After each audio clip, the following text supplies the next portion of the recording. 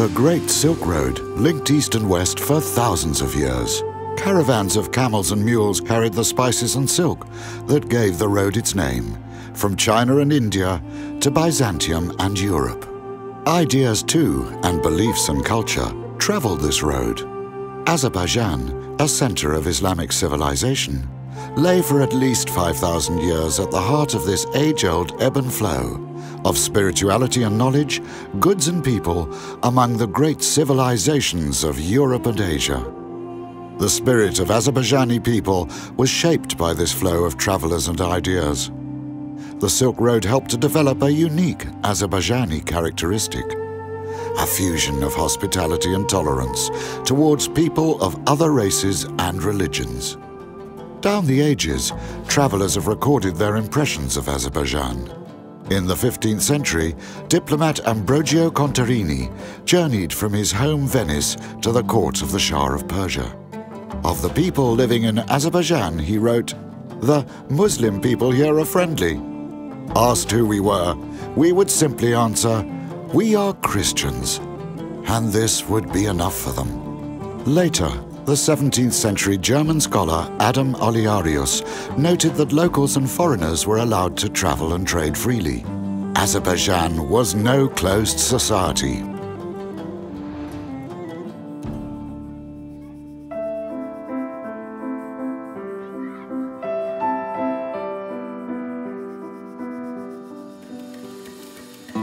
Azerbaijan was a center of Zoroastrianism, one of the first monotheistic religions in the history of humanity, according to some scholars.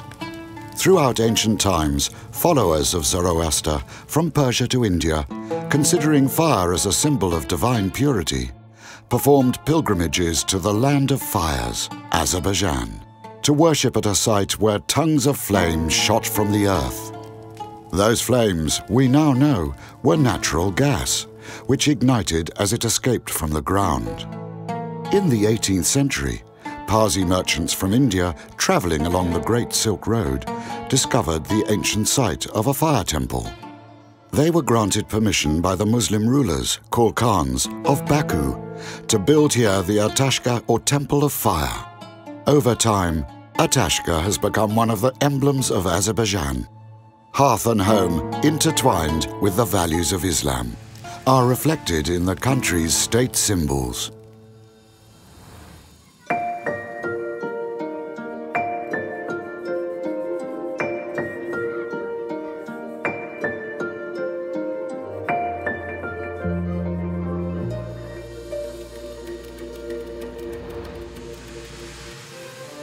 Jews first settled in the hospitable land of Azerbaijan in the 5th century BC. Seeking refuge from the destruction of Jerusalem by Nebuchadnezzar, king of Babylon, Jews found peace and sanctuary here.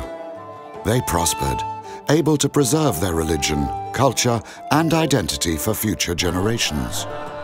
At the end of the 17th century, Fatali Khan of Guba granted Jews land to establish a major settlement near the main city of the Guba chiefdom in northeastern Azerbaijan. It was given the name the Red Village because of the color of its roofs. This settlement brought together Jewish people from all over Azerbaijan, as well as neighboring Iran and Dagestan. Today, the Red Village is considered the biggest compact settlement of Jews living in diaspora. Throughout its history, Azerbaijan has been more than just a safe place for Jews. According to several international reports today, this hospitable land has gained unique prominence as a country with zero anti-Semitism.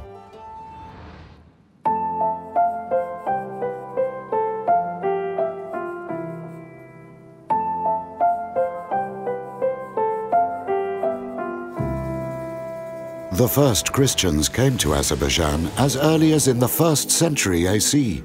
According to the medieval historian of the Caucasian Albania, Moses of Kalunkatuik, St. Eliseus, a disciple of St. Thaddeus of Edessa, arrived in Gis, a town in the Caucasian Albania, the ancient predecessor of modern Azerbaijan. Here, as the annals of history says, he built the first church in the Caucasus, and three centuries later, Christianity was accepted as the state religion of the Kingdom of the Caucasian Albania. Azerbaijanis preserved this ancient church, which is in the modern-day village of Kish, in the northwestern region of Shaki.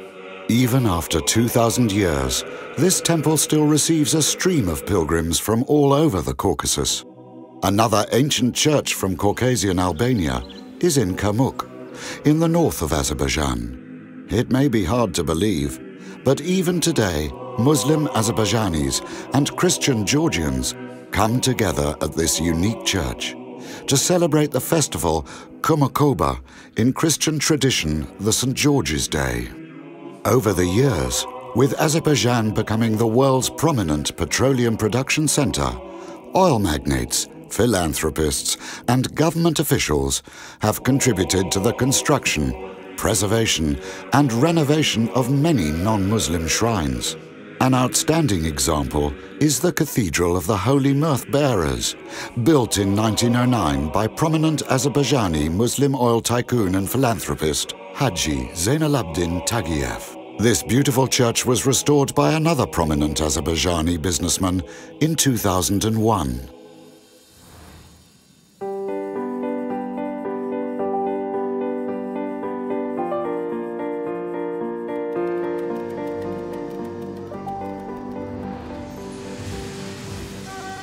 Islam, the latest of the monotheistic religions, rapidly spread in Azerbaijan, starting from the 7th century.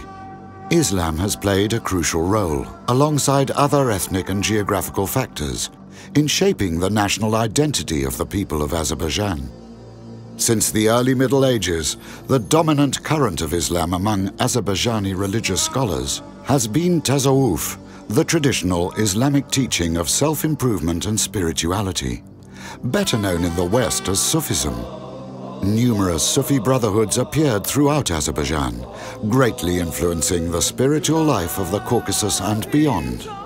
15th century Azerbaijani Sufi sheikh Said Yahya Bakuvi was instrumental in establishing the order of Kalvatia, meaning retreat from the world for the sake of the inner cosmos. Even today, followers of his order can be found from Anatolia to North Africa, and from the Balkans to Malaysia. The rich heritage of Bakuvi had a huge impact on the spiritual and cultural life of the entire Islamic civilization.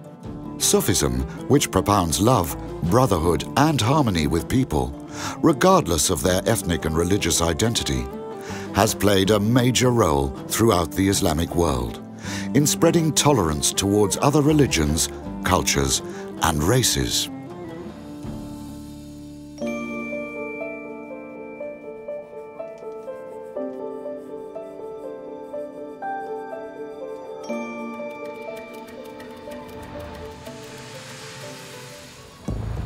Independence from the Soviet Union at the end of the 20th century came to Azerbaijan at a high price. Another neighbor, Armenia, waged war against Azerbaijan and seized 20% of its land, including Azerbaijani's cultural heartland, Karabakh. But even the destruction of mosques and tombs in these still occupied territories has not been able to shake people's respect for other faiths. The Armenian church still stands, not only undamaged in central Baku, but also renovated by the Azerbaijani government. In 2010, it was visited by the Armenian religious leader, Catholicos Garegin II, after an official meeting of the leaders of world Christian churches with President Ilham Aliyev. During the war in Karabakh, representatives of many ethnic and religious minorities living in Azerbaijan, such as Albert Agarunov, a legendary tank commander and national hero of Jewish origin, sacrificed their lives in defense of the homeland. The atmosphere of tolerance in Azerbaijan has been praised by the world's most influential religious leaders.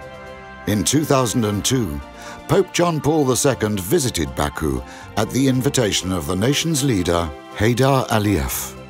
During the visit, the Pope delivered aid for Azerbaijani refugees from Karabakh, victims of ethnic cleansing, and consecrated the site for the building of a new Catholic Church of the Virgin Mary's Immaculate Conception. Seven years later, the erection of the church was completed with the assistance of the Heydar Aliyev Foundation, headed by the First Lady of Azerbaijan, Mehriban Aliyeva. Committed to bridge the historic traditions with the modern development of the country, the government of the Republic of Azerbaijan launches new projects, both at national and international levels, to foster the atmosphere of interreligious tolerance and respect. In 2011, as part of a set of initiatives to rebuild historic places of worship, and along with the renovation of old and the foundation of new mosques, President Ilham Aliyev initiated building of a new synagogue for the mountain Jews. In the world of tension of identities and cultural backgrounds, the rapid development of modern Azerbaijan is tempered by its unique spirit of intercultural and interreligious harmony. Moreover, Tolerance is not only one of the fundamental principles of the government, it is an intrinsic characteristic of the Azerbaijani people, who continue to safeguard their beloved country as the land of tolerance. Azerbaijan, land of tolerance. More than just tolerance.